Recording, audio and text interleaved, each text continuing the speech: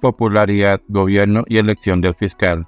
Así podría afectar al presidente Petro la captura de su hijo Nicolás. Algunos alegan que el jefe de Estado tiene un conflicto de intereses para presentar la terna del fiscal, pues esa es entidad la encargada de investigar a Nicolás Petro por enriquecimiento ilícito y lavado de activos. La investigación contra Nicolás Petro Burgos, imputado este martes 1 de agosto por enriquecimiento ilícito y lavado de activos, podría terminar por afectar varios procesos importantes de su padre, el presidente Gustavo Petro. Además del duro golpe político que significó para el jefe de Estado que su hijo mayor fuera capturado y esté a un paso de ser enviado a prisión como medida preventiva, también es posible que el presidente termine por perder el pulso en algunos procesos porque alegarán que tiene un conflicto de intereses.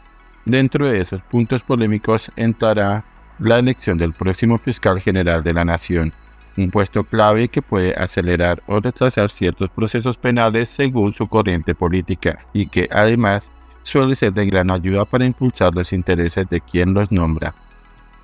Está claro, por ejemplo, que la dura pelea política entre el actual fiscal general Francisco Barbosa y el presidente tiene que ver en buena parte porque Barbosa está ahí desde la administración de su amigo público Iván Duque, por lo que es bastante lejano a las posiciones del jefe de Estado.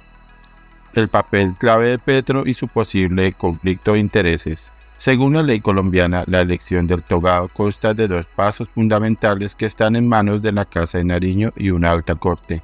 Tal como lo dicta el artículo 249 de la Constitución Política, el presidente debe presentar una lista con tres candidatos y la Corte Suprema de Justicia evalúa esa terna y elija uno de ellos para ocupar el cargo por el próximo periodo administrativo. El problema en este punto es que el fiscal Barbosa está a punto de abandonar su cargo, pues su periodo termina en los primeros meses de 2024. Así las cosas, el mandatario y sus alfiles más cercanos ya han ido preparando los nombres que presentarán ante la Corte. Lo delicado del asunto es que esa terna se enviará justo mientras Petro Burgos atraviesa por una investigación en la Fiscalía en la que intentan establecer si él recibió mil millones de pesos de personajes relacionados con el narcotráfico y los grupos paramilitares caso por el que fue capturado el pasado fin de semana con su ex esposa Day Vázquez, quien paradójicamente fue la que destapó el escándalo y terminó filtrando los supuestos actos delictivos a los medios de comunicación. Bajo ese contexto, algunos podrían alegar que el presidente está impedido para presentar fiscal porque tiene un conflicto de intereses directo. Dicho en palabras sencillas, el jefe de Estado estaría nombrando a la persona encargada de dirigir la investigación contra su propio hijo. Sobre ese punto hay opiniones divididas. Mientras algunos expertos aseguran que Petro sí debería estar impedido, otros insisten en que la Fiscalía actúa con independencia del Ejecutivo y que por ende la presidencia tendría vía libre para postular la terna.